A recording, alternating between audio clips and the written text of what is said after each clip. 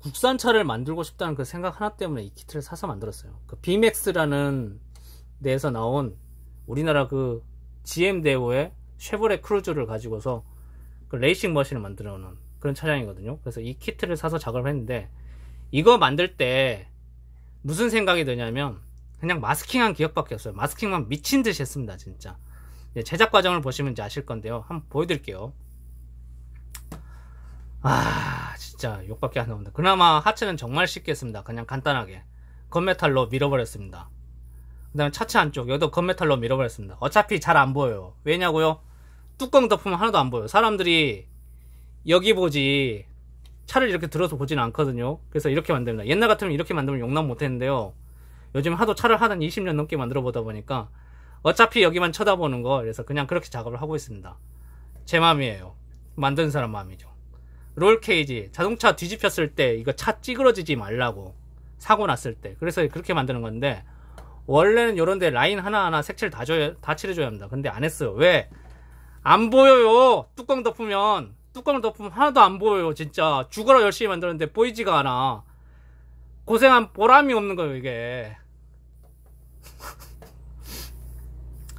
그리고 나서 이건 좀 구라예요. 솔직히 말해. 이건 정말 구라인데 디스크 브레이크 metal red로 칠해주고 그 다음에 블랙으로 붓칠해서 아니 블랙이 아니라 이 골드 프리미엄 골드 타미야 거 그걸 이제 붓칠해줬는데 차 좋아하는 사람들 이거에 환장합니다. 이거 디스크 브레이크 보이는 거 휠 사이로 보이는 거 그래서 요거만큼은 포기할 수 없어서 살짝 해줬는데 원래 제대로 한다면 여기다가 뭐뭐 뭐 weathering도 해놓고 먹선도 넣고 하는데 그런 거 다 패스했습니다. 왜? 안 보여요. 예? 열심히 만들어도 하나도 안 보여요. 그래, 아우 진짜 이거 말을 못 하겠네 그냥. 그리고 나서 실내에 여기 대시보드라든가 이런 거는 그냥 살짝 그라데이션 정도만 주는 정도로 마무리를 했습니다. 그리고 나서 이제 뭘 했느냐 차체 이거 이거 이거 왜 그러냐면요 사포질을 하는 건데 금형을 떠서 만들다 보면 이 parting line이 이렇게 나와요. 그게 이제 그냥 만들면 잘 안 보이는데요. 한 2년 3년 만들다 보면 보이기 시작하거든요. 근데 이걸 어떻게 제거하느냐 스폰지 사포로 살짝 살짝 한 600번은 밀고 그 다음에 1000번 1200번 1500번 한 2000번 그 정도까지 그렇게 해서 다시 이제 서페이서를 뿌려준 거고요. 왜 뿌렸느냐 사포로 연마를 하다 보면 표면에 차체에 굉장히 흠집이 많이 발생합니다. 그걸 메꿔주는 역할을 사, 서페이서가 해줘요. 그러고 나서 제대로 가라는지 체크도 할 수 있는 거고. 그래서 잘 안 갈리면 다시 사포로 다시 재연마해서 다시 또 뿌려주고요. 이게 다 끝나고 나서 super white로 전체적으로 흰색을 칠했습니다.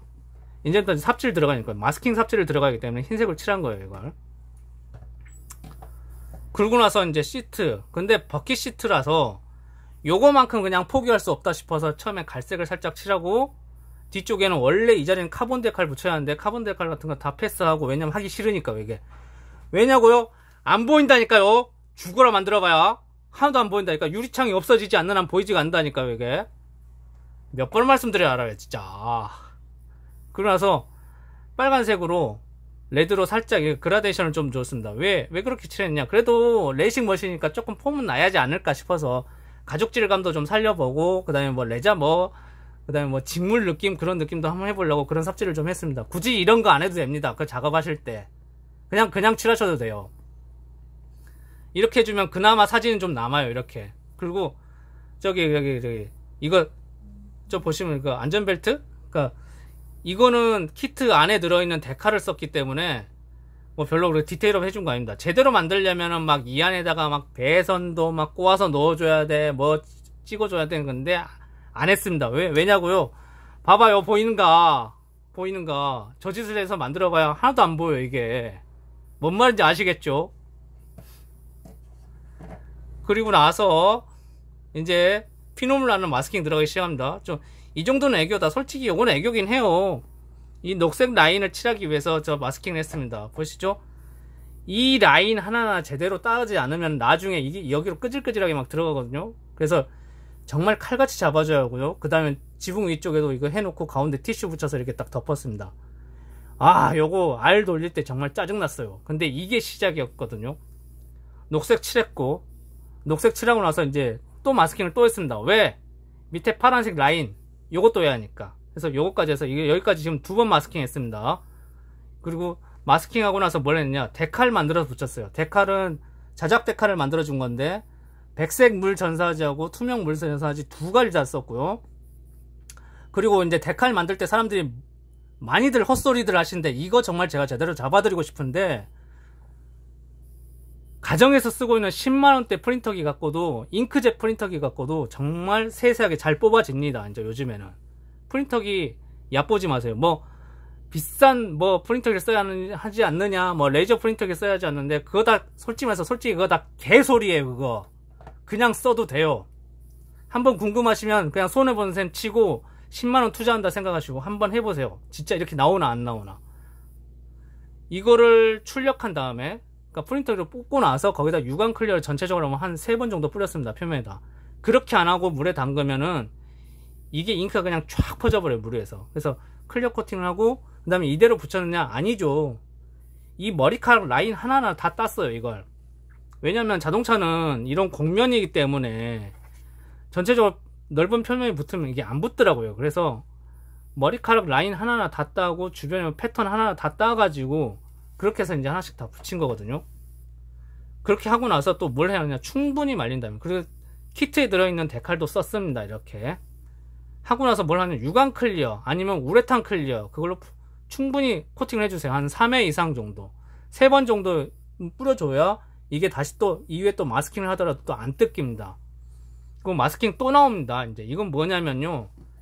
이 유리창 테두리에 까만 거 실제로 자기 차 타보신 분들, 자기 차 있는 분들, 아, 아빠 차, 엄마 차 있는 분들 한번 봐보세요. 이 까만 테두리가 있어요. 이걸 칠하기 위해서 다행히 고맙게도 키트 안에 실이 들어있습니다. 예전엔 이거 없어갖고 뭔 짓을 했냐면 마스킹 테이프를 일일이 다 짜갖고 이렇게 다 붙였어요. 붙이고 하고. 근데 유리창은 진짜 긴장하고 작업하셔야 할 게 이거 그냥 작업하시다가 이 사이로 삐져 들어오잖아요. 그럼 이건 대체할 수 있는 부품이 없습니다. 키트 새로 하나 사야 돼요. 아니면 버리든지. 그렇기 때문에 이 작업은 정말 꼼꼼하게 하셔야 돼요. 자동차 작업할 때 특히 이거 굉장히 중요합니다. 그리고 마스킹 또 합니다. 왜? 아, 이제 몇 번째인지, 마스킹 몇 번째인지 기억도 안 나요, 진짜. 왜? 이 자동차 테두리에 보면 이, 이 라인이 있는데, 이, 이, 이, 여기, 여기, 여기, 여기. 요걸 또 칠을 해줘야 돼요. 그래서 마스킹을 또 하고 검정색, 반광 검정색을 칠했어요. 칠하고 나서 마스킹 테이프 다 떼고 나서 이제 외장 다 끝났습니다 이제. 그 그리고 나서 이 차체 밑에 쪽에 여기 이제 카본 느낌으로 가야 하는데 부품 자체가 워낙 좋아서 그냥 premium iron silver 그냥 그놈 칠했더니 딱 느낌이 살더라고요. 그리고 여기서 마스킹 또 갔습니다. 이건 또 왜? 밑에 검정색으로 돼 있더라고요 그러니까 여기가. 그래서 또 마스킹해서 또 칠하고 그렇게 해서 이제 전체적으로 이제 붙여가는데 또 마스킹 또 하고 있어요. 이건 또 왜냐 아 진짜 제가 요거 요거 깜빡이 등. 요거 요거 요 보이시죠? 요거? 요거 요거 요거 요거 요거 요거 칠한다고? 이거 붙일로 안 돼요 진짜. 짜증나게. 그래서 어쩔 수 없이 다시 또 마스킹을 또 했습니다. 진짜 마스킹 마스킹 마스킹 마스킹. 정말 마스킹. 어우.